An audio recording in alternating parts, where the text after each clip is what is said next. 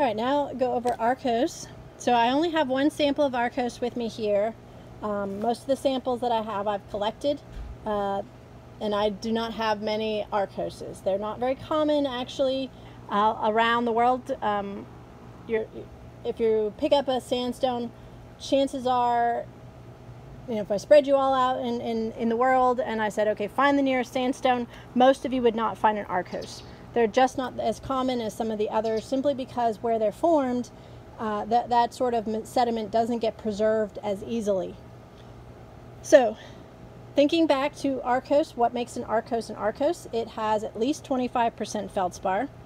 It is the result of weathering of granitic rock, granitic source rock, in an arid to semi-arid environment. Going back to our enchanted rock sediment.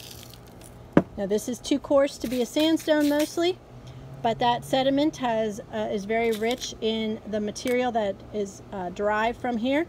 Notice that there are not many of the dark grains.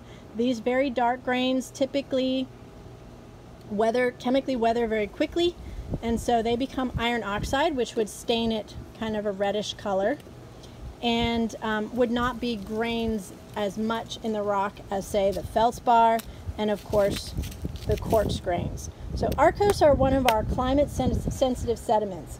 In order to become an Arkose, it has to be deposited in arid to semi-arid environment or uh, um, with very little water or only intermittent access to water. The reason is because feldspars react with water and when they react with water they become clay minerals so they don't last very long in the environment um, unless there is uh, very little water present. So if we see an Arkose somewhere, um, there's some in Colorado. If you've ever been to Red Rock Amphitheater in Colorado, uh, there's some famous concerts that have been videoed there.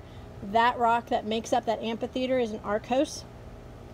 The famous Flatirons in Colorado, which are some layers of rock uh, that are exposed at Garden of the Gods, if you've been there, or uh, Roxborough State Park.